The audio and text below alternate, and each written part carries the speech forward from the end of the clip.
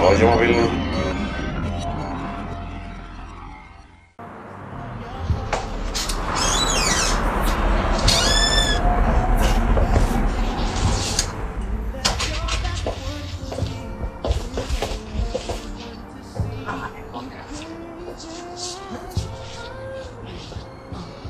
Šta sam sanja?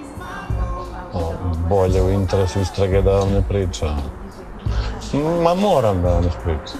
Da ne bude kao onda kad su me pitali bili spava strah ili velča, ja budala kažem ne, a što, pa ne bi mi niko vjerovao. Onda bolje da ispričam jer da mi neko vjeruje, ba.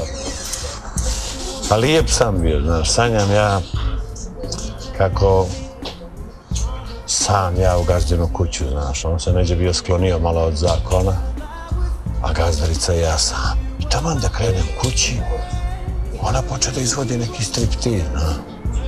Ja da joj rečem, čekaj ženska glava što to radiš, ali se sjetim, ej, nije moje da postavljam pitanje. I pušti mi da završim. Kako se ona gola kao majke rođena našla u, u svoj bračni krevet zajedno sa mnom, ja ne znam. Ne mogu da se sjetim.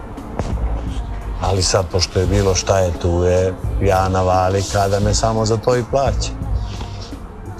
E sad još jedna stvar mi je bila čudna, znaš, nikako nije samo ja shvatim što mi ono stalno uvo šapće muška, muškaroš u moj, muškaroš u moj, kad se ja u žensko društvo vas da bio poznat kao ženskaroš. A onda mi sin ukrozlao, čekaj, a, da ono ne misli da sam ja jedan od onije, se one bande, znao. Tržek se ja onako, da, prešeće me ono, probudik se. E kad sam se probudio vidim da mi se sam pretvorio u javu. Ona je ležala pored mene, ja se opružio pored sebe. Boga, mi smo tako ležali dok nije svanulo, znaš. E onda ona počne da priča kako takoga muškarca nije imala ni na sebe, ni u sebe, ni mimo sebe, ni van sebe. Kad ja ču, džipik iz onoga kreveta da bježim kući, e, ali se odmah šetih čekaj, pa ne smijem da napuštam radno mjesto, a, borbeni položaj.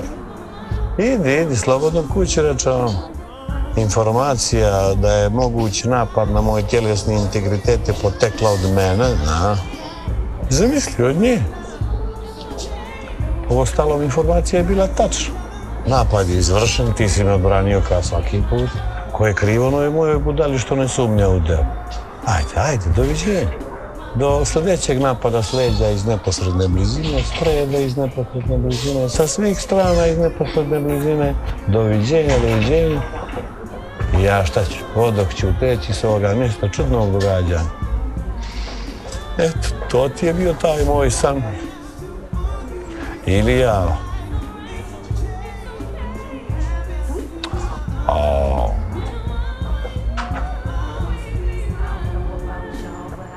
Ipak meni bolji stoji.